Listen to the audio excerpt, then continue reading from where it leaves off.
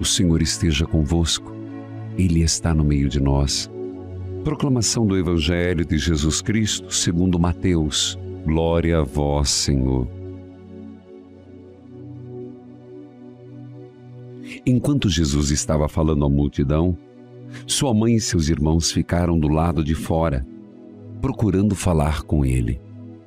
Alguém lhe disse: Olha, tua mãe e teus irmãos estão ali fora e querem falar contigo. Ele respondeu àquele que lhe falou: Quem é minha mãe?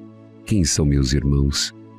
E estendendo a mão aos discípulos, acrescentou: Eis minha mãe e meus irmãos. Pois todo aquele que faz a vontade do meu Pai que está nos céus, este é meu irmão, minha irmã, minha mãe. Palavra da salvação. Glória a vós, Senhor. O texto de hoje, de um lado, mostra a ruptura que Jesus faz com os laços familiares, dando exemplo aos discípulos e a nós uma exigência do reino. A comunidade dos discípulos pode ser definida como família do reino, um novo laço, o laço da fé. Nessa perspectiva, fica em segundo plano a consanguinidade. Mãe e irmãos, na consanguinidade perde importância diante daqueles que se tornam irmãos e mães pelo sangue do Senhor. A ligação com Jesus se dá de forma mais profunda, mais do que uma convivência física.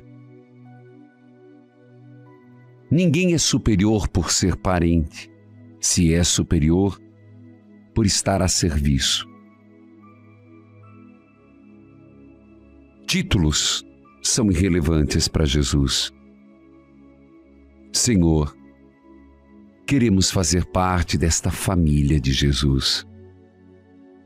E sabemos que o que nos faz família é o batismo, o discipulado, o serviço. Senhor, nós o buscamos, nós o desejamos nós o necessitamos. Comigo, faça um pedido, uma oração, uma prece. Lembremos daqueles que se afiaram às nossas orações, aqueles que se recomendaram às nossas orações. Senhor, escutai o nosso clamor, atenda o nosso pedido